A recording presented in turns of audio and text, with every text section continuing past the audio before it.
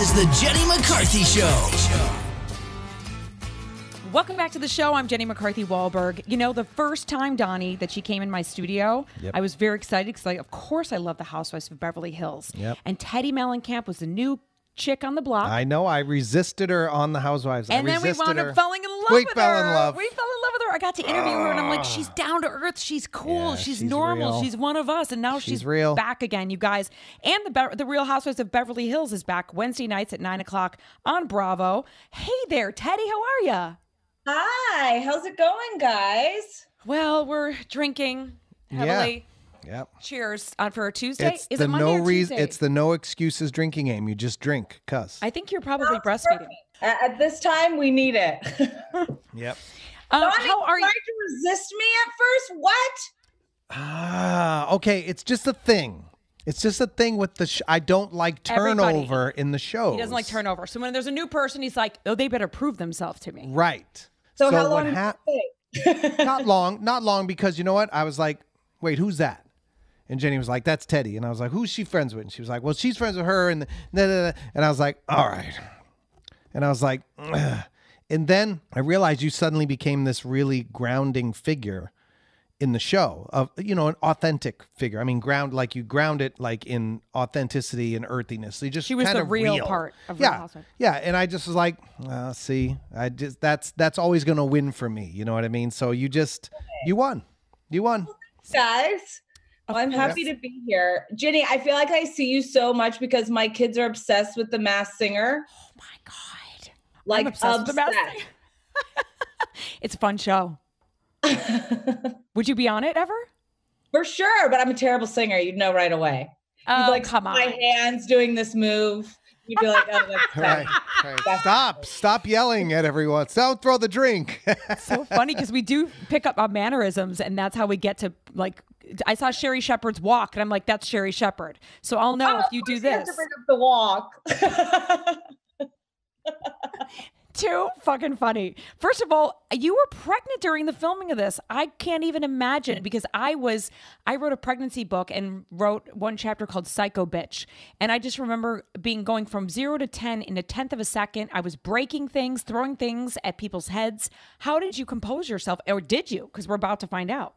I mean, in my sometimes I didn't. Like there was one night where like Edwin was like, "You need to relax," and I remember like kicking him under the table and being like, "Honestly, Right? I- you better not. I hope you don't say another word because the worst thing a husband can do is get involved in any of it." Right? Or just not have your back even if you're wrong. You have your back no matter what. And who relaxes by being told to relax? yeah, that's a tough one. No. No one. That's a tough one. But see, see what I mean about about Teddy is anyone else would have used that as an excuse to like throw a drink in their husband's face, and she just kicked him under the table. She keeps it real. I real. kept it on the DL. Like I That's like right. you know, pinched his thumb as hard as I could. Like you.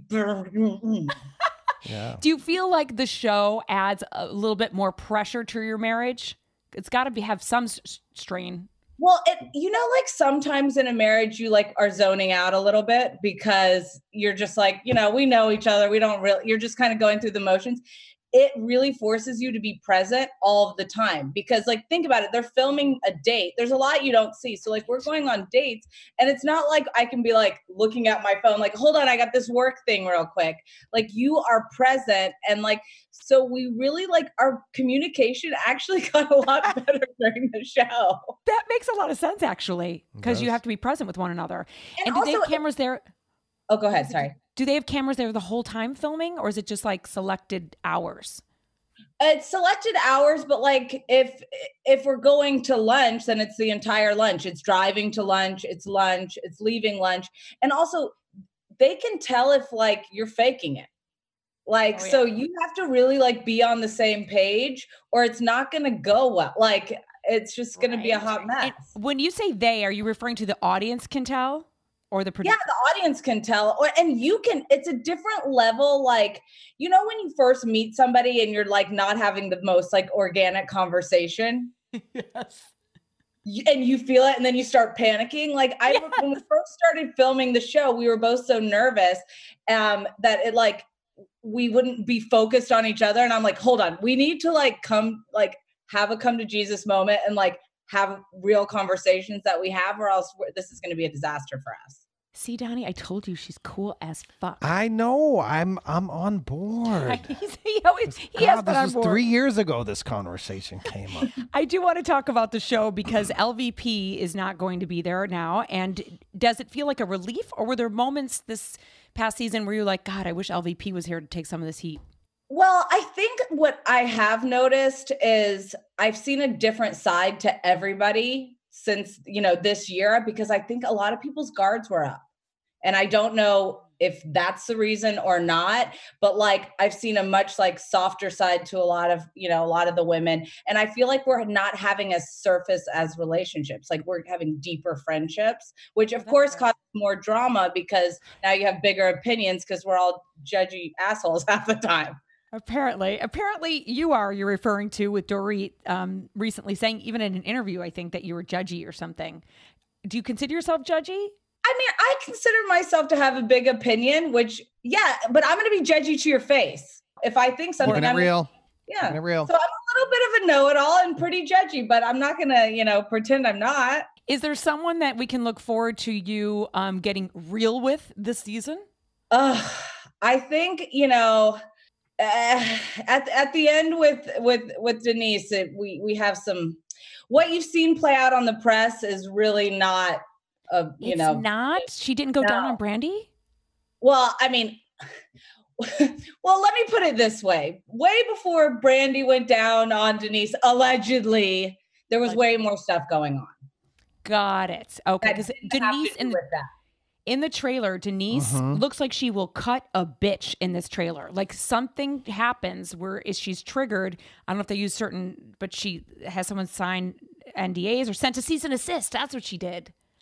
And it's like, come on, you know what we're you know what you signed up for. It's the good, the bad, and the ugly of our lives. And like that's that's what it is. And you know, I, I think whenever you try to control what you want the audience to see, it never goes well. Never.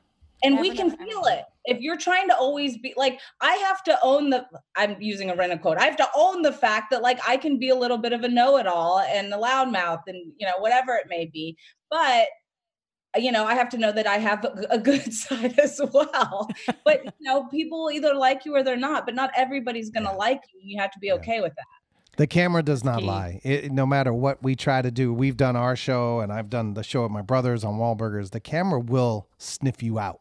No matter what you try to do, it, it's the, the what the audience is going to think you is going to come out. No, there's nothing you can do about it. And the more you try to hide it, the more you actually feed the thing you're concerned about the audience thinking about you, right? oh for sure because you're more aware Yep. It's so true. It's like in the front of your minds. You're like manifesting it before your very eyes. I want to ask you, where does the tension between you and Lisa come from? Oh, you know, I think there's a lot. They, I don't know how much they've shown in the trailer or you know what, but there's a lot of situation between Kyle and I being very close. And I Mm. actually think it's almost like laughable because I'm like, what is so crazy to everybody? Oh, that we have a true, authentic, real friendship. I can I can see how that's so Mm. disturbing to everybody. Why does it? Why is it disturbed? Why do you think it bothers people? Why does it bother them? I don't know. I mean, I think, but the thing with me is like when people say it, I have to laugh because I'm like, it doesn't bother me that it offends you that we have a close friendship because I'm not trying to fake anything here. It actually is a very good Right. friendship.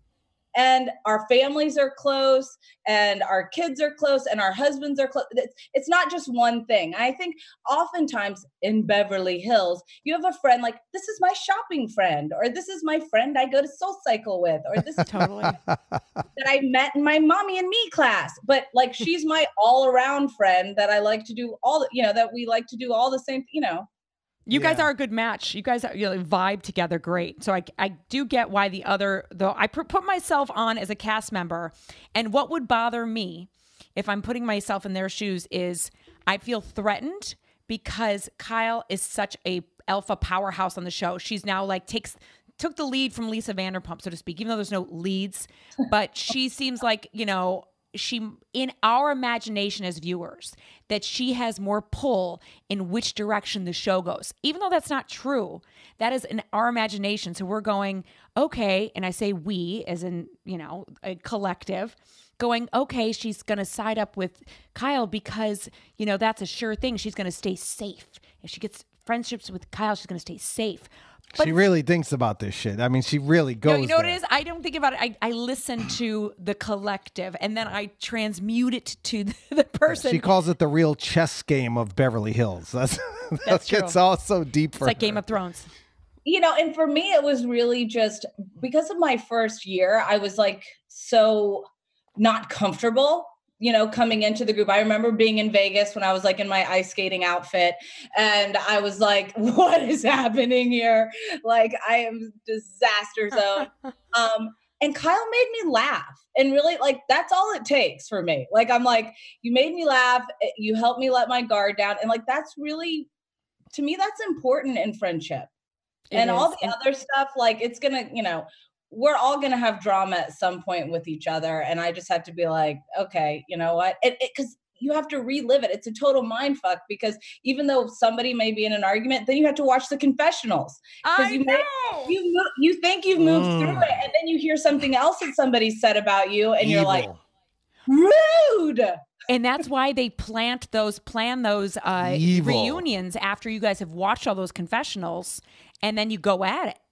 Yeah, because you think you've cleared things up, and then you know, like, oh no, well, this is what she's saying behind my back, which is worse than the fights in person. Totally. It's like picking the scab. Mhm. You thought it healed and you're just picking the scab, picking the scab. Mhm. See, Lisa Rinna, like I say, I would say in real life, you know. I love Okay, I'm I, friends I'd like Lisa. no, no, no. Yeah. I, I say okay. I, would- I could, I could see her being a cool gal in real life, but not on the show. I'm not, I'm not, I'm not, I'm not here for that right now. No, because she backstabs. She backstabs everyone on her interviews. Do you think everyone's playing the game though? There is a sense of, of course, reality. You want to be as authentic as possible, but there is a game to be played. I mean, the way I kind of look at it is in your real life, think about you say something to Donnie. You probably wouldn't want to have to say it out loud, some of the things that you would actually say to Donnie. But Right. we are, that's our job. Our job is to say our inner feelings. So, yeah, sometimes it's uncomfortable, but like if sometimes you got to be shady because that's how us as humans think from time to time. That was the best explanation I got real. from a housewife yet. And I've She asked it keeps it multiple times that it was an excellent way of breaking it down. It was almost a spiritual way of breaking it down. I was saying, listen, this is our job. It's called entertainment, and we know what we have to do. And people, Hashtag that spiritual shade. Yeah, like you're not making up stuff. You're just Yeah. No. those inner like I say like I walk into a room and you have that original thought, good or bad. And but then you have to share what it is. Yep, I get it. uh, see, I would have giant cold sores all over my face doing the show. I obliterated Mark and Paul, my brothers, on Wahlburgers. I obliterated them, so I I get it. I get that part of it, and I love them, and I support But you them. have to say everything out loud. I just I got to that point. That exactly what Teddi's talking about. Just not holding back, and you got to tell the truth, and you just the camera's on, and let's go. you know, maybe it would help me spiritually also grow because it forces you to use your voice. You know, we're both like kind of codependent. So that took a- a while for us to develop our voices of what we want. Do you feel like you've grown in any areas because of the show? You said you it helped with communication with your husband. Outside of that, You know, I think I'm just a lot more aware of certain traits that I have, like my need to control everything. like I think before I thought like this is how everybody is and then I realized nope no, it actually isn't this is something that you are you have an issue like you are a control freak and I realized like sometimes I have to just take a breath and you know let things go and you know kind of do that. And I realized like after watching I can't remember what season it was I was like god I need to quit nagging my husband. Like I can go nag. Like what the hell? That would be hard if you don't have control over an edit and you're a control freak. That would be the fucking hardest thing. Hmm. yeah so you just have to be like oh my god okay you have to let it and it's really helped me in my other you know the rest of my life because i realized like there's such a huge part on display that i can't control that i have to kind of let everything else Surrender. Yeah. Do you still have your accountability uh, coach business? Yeah, it's I'm I mean, I'm so grateful for it right now. I have like over 45 people that work with me and we've had over 10,000 lives changed. And now more than ever, you know, we're we're completely full because there's so many people that want that support in the community right now. You know, to feel That's amazing. alone. Can I tell you how many times you come into my thoughts because I'm doing something I shouldn't do or I haven't done something I'm supposed to do yet and I go I need that goddamn accountability co- I need accountability. It have it's all the time and then I go okay pretend you have it. What would you do? I would tell them to fuck off because that it, it's not right but I'm like I have that personality of I want the help I want some accountability coach to be like, okay, 3 p.m. But Donnie knows if he says, okay, we said 3 p.m. workout, I'll be like, no. ah." It's a weird dynamic. But the difference is, is if you have skin in the game. So you have to understand once people sign up with me, they're paying. And then if they don't follow through, they lose their, you know, they're out. That that makes more sense. Yeah. See, it's, I, want- I'm I'm I'm discovering here. It's not a control issue, Teddi. This is this is accountability. You are on the show teaching people who aren't accountable to each other, Oh. backstabbing and not following through on things. Accountability. It's not oh, control. Oh, they I'm not- I Team I know. Teddi. When it comes to bad behavior and backstabbing, I'm not an accountability coach. when it They comes tried to do that. to help and They've fitness, yes. All right. Um, I, I a can't couple- be a housewife and, you know, No, you Yeah. can't. It's the dynamics too weird. A couple more questions about the show. Denise's husband and Erika Jayne's like there's an argument that happens where Erika Jayne's like, fuck off. That's my subtext of what I got from it. Uh, how bad does it blow up? uh, it's bad. Is it okay? Good. So something. And there's- and there's so- upset for that. there's so much more there's so much more than what you've seen and more things involved and like it's it's probably the most uncomfortable i've ever felt on the show But is it like where were they? Uh, in was it China or Japan? Where were they when Erika got upset? Was it that bad? Did you guys go to Japan? No, a couple Uh, years I- ago when Erika got mad. I don't even know. erika erika handled herself great in the moment i mean i i wouldn't have been able to like i there i was in that moment where i just like kind of got like this like hunched over like it was yeah it was a shocking moment for me Like a scared child. That's Well, what I feel like. Erika, Erika grew. Erika evolved. Remember when she went demon? Where I love she it went though. full demon. I want more. so she's grown. She's grown. No, we need growth. We need growth. This is what Teddi's bringing the light to the housewives. Well, let me ask you this, Teddy, because um, some of the feedback for this last, this past season of Housewives, and I know you guys have upped the game, but they said, you know, this st- storylines felt a little bit flat. That that you guys were kind of reaching for storylines, and there just wasn't that much good tension. The dog storyline felt like it was redundant. Did you, in hindsight, looking back, do you agree with a lot of the people that said that? And in so uh, saying that, does this season just do the opposite?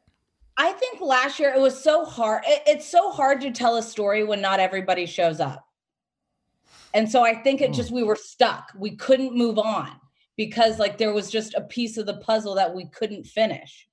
Um, a- and, that's the problem. And, you know, this year it's completely different and it's so many different issues. It's not just one. Like, yes, what you're seeing at the end is what people have wanted you to see on press because they've gone to the press, they've talked, they want you to have their opinions prior to watching the show, which I hate. Like, I want you to watch the show and be fresh and make your own opinion, be judgy, whatever you want to do. But um, there's so many layers to this story that aren't just what what you're hearing in the end. Boy, you're really selling it, Teddi. You're selling it. I'm like, Well, it's, I was really present this year because I couldn't drink. I was so, right. you know, like you're sober housewife, you are paying attention. Holy shit, I forgot about that. God, you deserve a crown for that. That's an oxymoron, though. It's a so sober housewife is an oxymoron. it actually is an oxymoron. I'm kidding. I'm kidding. um, anybody? Out, there's a new person. What's her name? Oh yeah, there's two, Garcelle And, so, and Sutton. how are they? So Garcelle is really fun. She's a big personality. Mhm. Like comes in like eh, you, she lights up the room when she comes in. I feel like her confessionals are going to be shady though. Like I have a feeling like for like for sure feel like that. Um Sutton came in hot. Like comes in hot. Like it's unbelievable. Like complete polar opposite to how I entered. Like I was like, "Whoa." And I don't know how much you've seen or not seen thus far, but it, it's pretty crazy at from the get-go. Do you think she did homework before she started? Meaning, like, watch. Oh, for sure. I think she went on Twitter and was like, "What are the Twitter trolls saying about Teddi?" And I'm re- I'm eating it up, Nah, yeah, yeah, yeah. and I'm going to use it against her. I, I like, mean, honestly, if you're gonna, if someone isn't as smart as you, that's the tactic that they'll use. So there you go. Now Sutton, can't wait for her to come on the show. come after me Yeah, for that. I'm watching. I had Lisa Vanderpump come after me on this show. I was in my radio studio at in Sirius at New York, and the door flings open. She was supposed to be a guest, but she literally is like, "I've got a bone to pick with you," and I'm like, "Save it for the air." but she, I was on um how, Andy's show with Brandi, and I, you know, I don't, I'm I'm pretty judgy myself, and was going off on how Lisa Vanderpump is a, a a puppet master and da da da da and feeding Brandi some more lines. I'm like, she's using you. Not realizing Lisa Vanderpump's booked on my show the following week.